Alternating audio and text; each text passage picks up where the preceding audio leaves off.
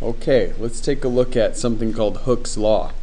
This deals with forces when we're talking about springs. So, let's say we've got a spring, and we'll make this a vertical spring. And we've got it hanging from a ceiling or something like that. It's just hanging straight down. If we add a mass to it, there's mass M, the spring is going to stretch, okay? So it's going to come down here some delta x. Alright, and there's going to be a force on that. Okay, we could also have a situation where we've got a spring, and let's say it's a spring where it likes to be compressed instead of stretched. So we got some kind of plate right here or something like that and we are going to produce a force in that direction and we are going to depress that spring some delta x. So we can do horizontal, vertical, alright, we can stretch the spring, we can compress it, alright, and we've got this delta x and it takes force to do that. Okay? Now it also turns out that the more I depress this thing, the more force I need. It's actually not a constant force. Doesn't take much at first and then that force increases. Same here. If I pull down on this thing, initially it's pretty easy to stretch, but it gets harder and harder and harder as you apply more force. So we can look over here and let's say we're going to call this Fs. Okay, this is the force um, for the spring. Alright, and down here we are going to change how far. Okay, we either, are either stretching or compressing. So let's say we have let's say we have kind of a medium weight spring. Alright, as we stretch it, we're going to pull on it. The force to do that is going to go up. Okay. Now, if we have um, a spring that's a little bit lighter, Alright, it's easier to stretch the same distance. Okay, then I would have a graph that looked something like this. Okay, I'm stretching it the same distance as this one, but it doesn't take as much force to get it to that point. Alright, then I could have a really tough spring, like maybe a one like on a shock absorber or something like that. Okay, it might have a, the graph might have a slope like that. Okay, now the slope we call K. Alright, K is also called the spring constant. Alright, and you can see from the graph, if I have this K value, it's greater slope.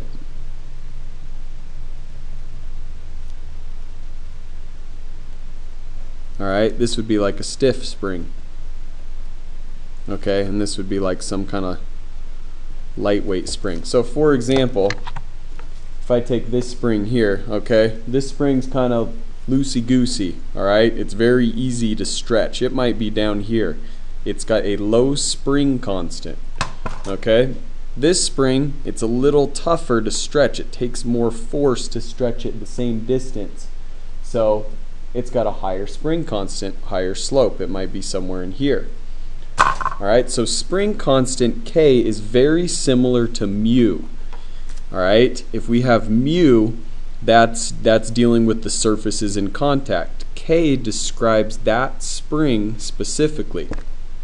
Alright, now if we take this, this, and this, and we put it all together, we can, we can, uh, we can do that by saying slope equals rise over run. Alright, my slope is k, rise is fs, and run is delta x. Is the change in length of the spring, not the spring's length itself. Okay, so if I rearrange this for fs, I have s uh, at fs is equal to k delta x. This right here is called Hooke's Law. Alright, that's it. Now, your AP equations page does this to you. They say negative k delta x. Most time we will drop. Most times we'll drop that sign. Okay? Here's what the sign means. Um, it tells us that, let's say the spring is stretched downward. Okay, like this over here. The force is going to be upward. Okay, the spring's force that the spring is producing is going to be opposite its stretch. That's what the negative sign means. But mostly we say, forget about that. We're just going to leave it positive, leave everything positive, and we know what all these mean in their directions. Okay, so you can kind of ignore that. Um, this can now be put on all our FBDs.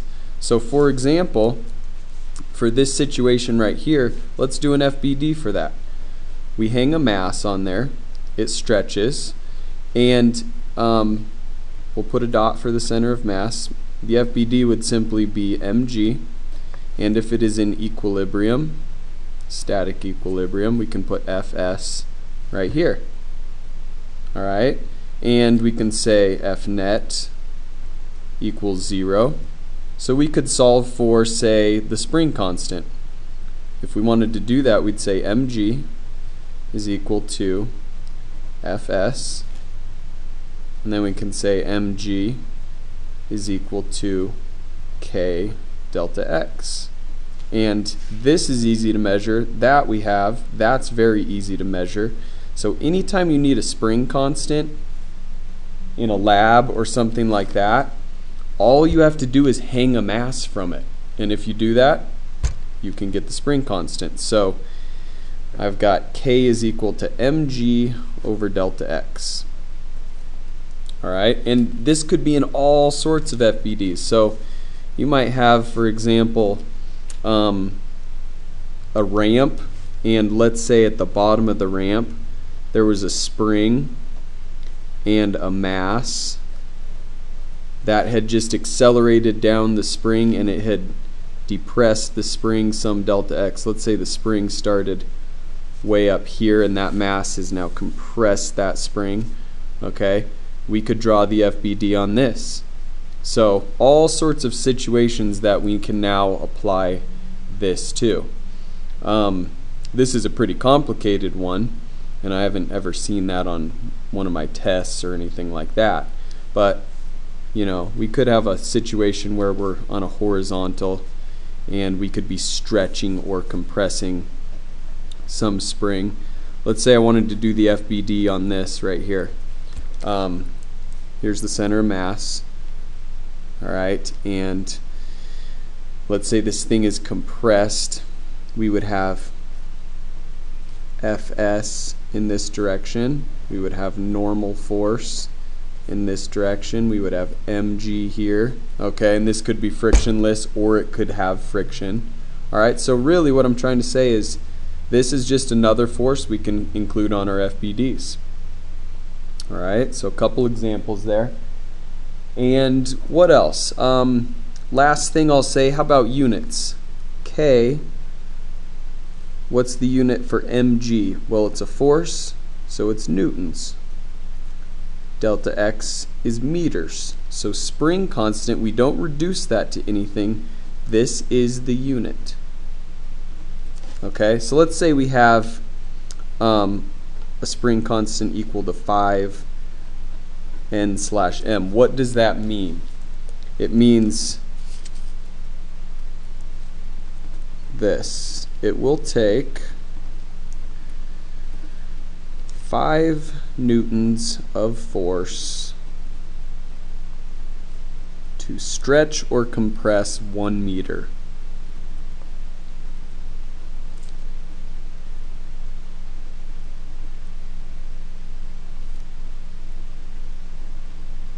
Alright, so a shock absorber on a car, for example, is going to be thousands of newtons per meter. Alright, some of them are going to be less than one if you had a super, super light spring. So this will show up in labs. It'll also show up probably in some multiple choice on your test. Um, maybe some free response. So just kind of adding on to the forces that we have available to calculate, we've now got Hooke's law. Later we'll talk about energy stored in the spring and all of that. So thanks for watching and happy FBDing. Okay, bye.